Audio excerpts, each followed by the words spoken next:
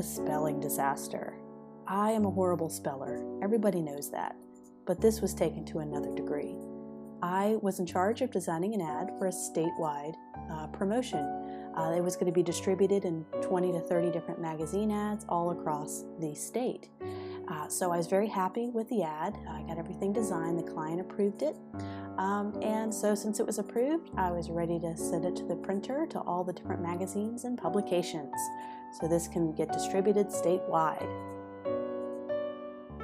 Everything was going really well, excited about seeing my work in front of hundreds of thousands of people.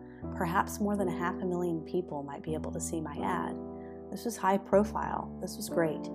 So got an email back from my client, and the first ad they, was shown in the newspaper, and it looked great, but there was one major error. I misspelled the state's name.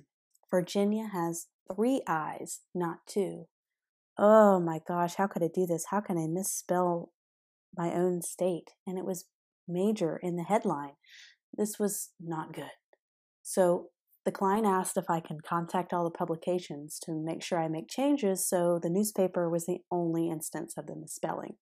But it was too late. It's already a couple of weeks have already passed, and the, the newspapers and the magazines and the ad placements have already ran. It's too late. It was only a matter of time before a disaster would strike the whole state. I was a little bit lucky in that this misspelling is common and I actually was able to convince the client to give me a second chance.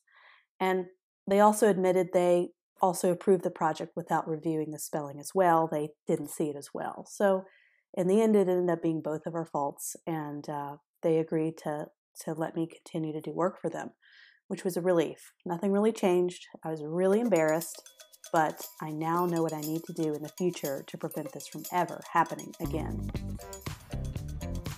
So, how do you prevent this disaster from happening again? Always have a proofreader on your side. Never depend on the client to do any kind of proofreading for you. My husband happens to be a spelling and grammar whiz, so I always run anything by him, especially if it's going to be on social media or large print projects. I don't want to embarrass myself like that again.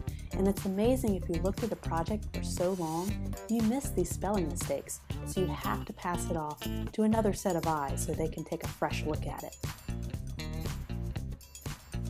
And one last thing Virginia has three eyes.